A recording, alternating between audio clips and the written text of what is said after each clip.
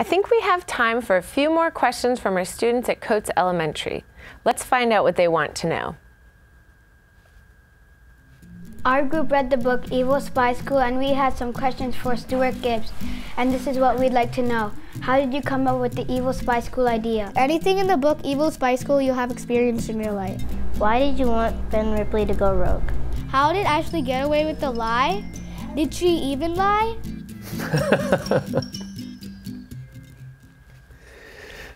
Well, those students have very book-specific questions. Yes, yes. So without giving anything away, we don't want any spoiler alerts. Right. But can you can you answer some of those? Um, right. Okay. So the first one was why why uh, why did I write Evil Spy Yeah, how did you get the place? idea? I got the idea because I realized that whenever I was watching a James Bond movie or or any spy movie, or technically this even applies to like Star Wars, and anything where there's sort of a really big evil organization.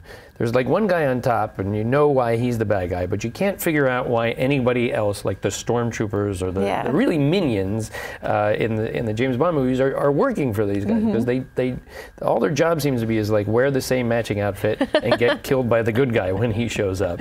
And it, it, I you know I felt like there couldn't just be like a job interview situation or something like that. So I it just fascinated me to think that maybe the bad guys would also have a a spy a school A where they were training evil spies. And I and then I thought what would that be? And, and then one of the kids said why did I have Ben go rogue to mm-hmm. go there? Which I don't think is is ruining everything. And I, I thought because I didn't want to set it I didn't want to set it at the, and have bad guys be the heroes so I had to figure out how Ben could investigate that, and I thought, well, he's he's he's just a student. They're not really gonna let him go in and do that officially. So I had to come up with a situation where it would make sense for Ben to be. Like, Took matters into Yes. his own hands. Yes, right. Yeah. And he doesn't really fully go. I mean, he's manipulated into going rogue, really.